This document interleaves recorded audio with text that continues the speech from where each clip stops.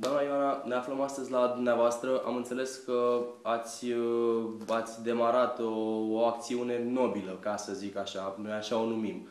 Pentru că din ce în ce mai puține persoane se gândesc să, să-și ajute semenii care sunt, uh, sunt la nevoie.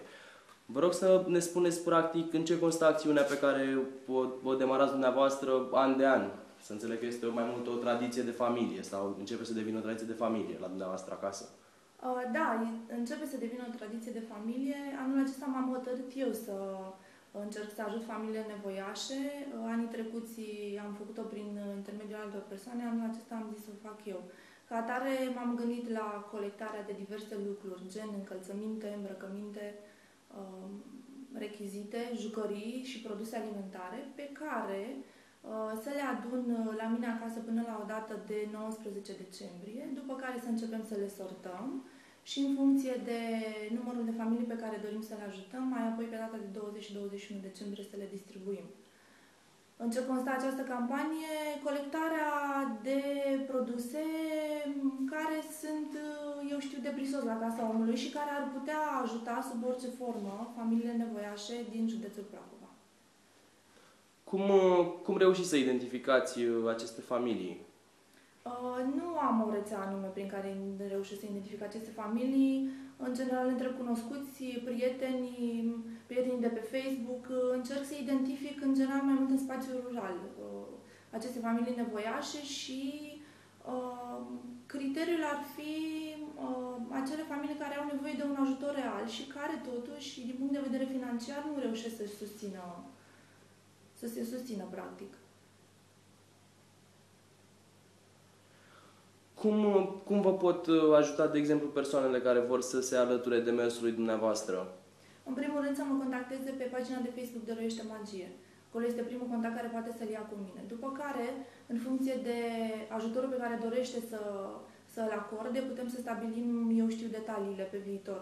Uh, În principiu, până în momentul acesta, toate persoanele care au uh, donat anumite lucruri vor să se implice și în campanie în sensul de împachetarea lucrușalelor și distribuirea lor. Uh, Acum îmi este mult mai simplu dacă persoane care doresc să doneze vor să mă și ajute să fac lucrul acesta pentru că este destul de dificil uh, să reușesc de una singură.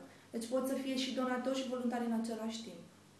Deci vorbim, uh, cu alte cuvinte, de o acțiune simplă, de o acțiune care uh, ajută, că de fapt ăsta este cuvântul, ajută și uh, stă drept dovadă a faptului că oamenii se iubesc și uh, vor să, vor să se ajute practic între ei.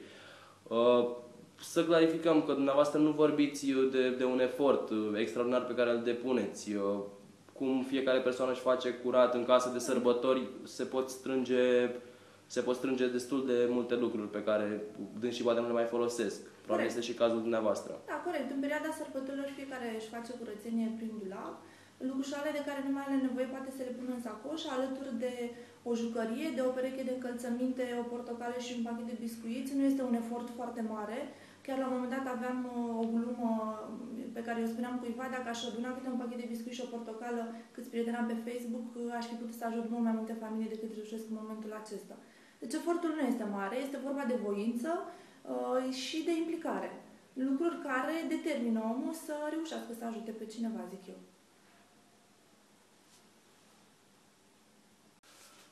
Nu vorbim uh, de o campanie care se, se derulează doar de Crăciun, din câte am înțeles eu. Ce ne puteți spune mai multe despre, despre acest lucru? Este foarte important de specificat faptul că această campanie nu a luat naștere în dorința de a ajuta persoanele nevoiașe în uh, perioada sărbătorilor de iarnă sau eventual de Paște. Uh, această campanie se va derula și în perioada următoare, fără doar și poate. Uh, vom ajuta oamenii indiferent de situație în oricare perioadă a anului, atâta vreme cât ei, ceilalți din jurul nostru, vor vrea să doneze și vor vrea să ajute. Uh, Noi vom continua fără doar și poate uh, acest proiect. Deci nu vorbim practic de un clișeu. Categoric nu.